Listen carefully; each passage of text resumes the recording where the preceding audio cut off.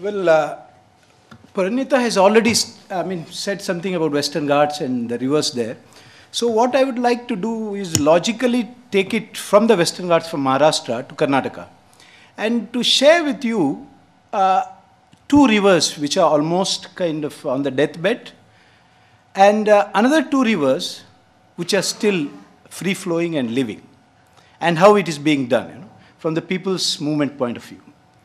And uh, you see, uh, we are, I'm talking about the river Kali,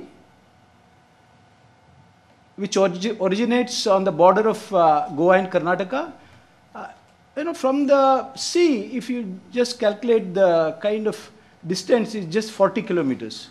But it takes this circuitous route and then joins the sea, which is 189 kilometers. It's very interesting kind of river. And then uh, we have another river, which is this is the Sharavati, where we have the large dams here.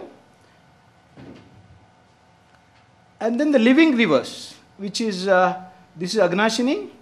Uh, just next slide, next slide. Yeah, this is Aghanashini, which is the living river, and then the Bedti. So how it is living and how the rivers are dead. Yes, we'll just stop. Uh, yeah, you know, you can stay. Yeah. Okay. You see, uh, tropical forest, you know, when we talk of Himalayan rivers, it's fed by the snow. And the Western Ghats rivers are fed by the tropical forest.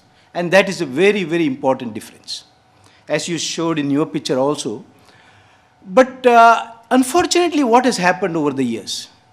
Because of the kind of hilly regions we have, as you said in the beginning, the engineers think it is a resource to be exploited. And let me tell you, the entire Western Ghats is a kind of powerhouse. Powerhouse to generate electricity for the, for the cities or where, wherever it is. And uh, Kali is a very, Kali Valley is a very interesting example where just one river generates 1,900 megawatts of power. Just one valley.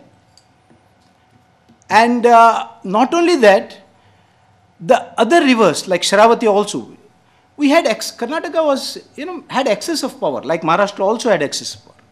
But over the year, how have we treated these resources which produce electricity? And I think it's a very interesting aspects of the of the rivers in Western Ghats. You know, the west flowing rivers are the powerhouse. The east flowing rivers are the lifeline for the entire Deccan Plateau, from Kaveri to Krishna to Godavari, know, all these huge irrigation projects which we talk of, which are the kind of uh, rice granaries, rice bowls of Deccan Plateau, that emerges from Western Ghats, from the tropical forests of Western Ghats. And that is a very important contribution of the Western Ghats. One side, it is the Deccan Plateau, the security of the water security of the Deccan Plateau. On another side, the power or the energy security for the entire Western Ghat region or even the IT sectors in Bangalore is powered by the Western Ghats, which we always forget. And even the Goa tourism industry, you know, it gets most of its power from Karnataka, from these rivers, which are based in Western Ghats. So uh, instead of looking at these rivers as a resource, what we have done is we are kind of exploiting them. And today, what, what is the state of these rivers? As I said, I mean, Kali, six rivers already standing, and they want to build the seventh river. Seventh dam, I mean, seventh dam. Six, six dams are already there, and they want to build the seventh one. And uh, to give it to a private party so that they can earn a lot of money, which we were able to stop. And uh, when we opposed the dam building in, in other areas, in the Bedti and uh, the living rivers, they said, look, we need to generate power. And these are the excellent sites. As you said, you know, it will go water, it will go waste. I mean, why are you worried? So let us use this waste water which is going into the sea. And I think that is, a, that is the idea of the engineers. That is the idea of the, uh, of the policymakers, that it is going waste. And I think that needs to be addressed from the beginning. And uh, Kali, in addition to power generation, setting up of the West Coast paper mill. Because when you have a dam, either you have a nuclear power plant or a, a paper mill which can access the water very easily. You know, it's free water. They don't pay for it. So they don't need to kind of address the issues of how do you resolve the crisis of pollution. You know, whether you address it or not, not they are not bothered. There is huge dam from which they get free water at any cost. I mean, at no cost at all. So the industries which is affecting. And uh, what this industry is doing, you know, the lead or the mercury being openly, the paper factory is one of the largest uh, polluters of the region. And it is polluting the river to such an extent that not only wildlife, but the entire ecosystem, river ecosystem, is kind of destroyed. And surprisingly, it is, despite that, there is no kind of uh, technical efforts to resolve the crisis of uh, pollution, how to address that issue. And what we did to address this issue, you know, 1980s, when uh, Chipko was going on, I was part of the Chipko foot march in the Himalayas. And when I came back from studying in Delhi, came back to my place, I said, we need to start something. There is, there is no movement going on. So how do we start it? And I started uh, walking with the experience of the Chipko, walking from the banks of uh, the mouth of the river of Kali in Karwar to the origin of Kali. This was in 1982 when I came back from Delhi. Just walk, walking alone almost. I mean, maybe we'll get some villages to walk. No dams, these big dams were not, no dams were built at all. They were building these dams, but the paper factory was there. So we, uh, I went along the river till the origin and assessed what was happening. And in uh, 2002, after 20 years, we did the same, you know, after building of the dams. Not to spread the message of Chipko or telling them uh, long, giving them long speeches about protecting environment, but to share their, you know, what is their experience of what is happening to the river. And we are trying to give voice to the river in a very different way. Not, not, not telling them, you know, how it is happening, but hearing their stories. And surprisingly, after covering 189 kilometers, I mean, people were there talking and sharing their anguish, etc.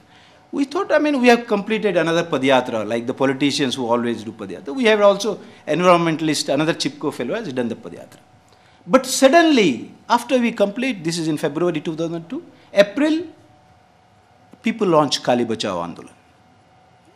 Who have been affected by the pollution, they said, look, we are launching the Kali Bachao Andolan. And let me tell you, when they said that, I thought it's a very good idea. But what a kind of opposition from the paper mill and the, and the authorities. They said, no, impossible. We are so, all the problems we'll address. So there is no need to launch Kali Bachao Andolan. In fact, people who wanted to launch, they were kind of hijacked or taken away by the paper mill. And then we intervened and we were successful in launching the Kali Bachao Andolan to bring pressure. But it was not an easy task at all. Because we were fighting the establishment, and that too, a paper mill which was really, really kind of, I mean, in the south we don't have that kind of Gundaism. But this Marwadi company employed that, you know, Gunda tactics to fight the movement. But fortunately, with the kind of support we got, we were able to bring pressure on the government to establish a effluent treatment plant and then to stop the sand mining. And then to address the issue of the atomic power plant, you know, which is leaving the water, which is radiated into the, into the river, Kali River, and how it is affecting. So we did kind of analyze with the People Science Institute in Dehradun what is happening to the river itself and how mercury is affecting the wildlife as well as the, as the people. You know, Kaiga atomic power plant, they, like Kudankulam, they assure you everything is going on fine. But Kaiga people, all the engineers, the colony people, they don't drink the water from Kali. They get it from Bedti, which is still not dammed. They drink only from the river which is not from Kali because they know what is happening.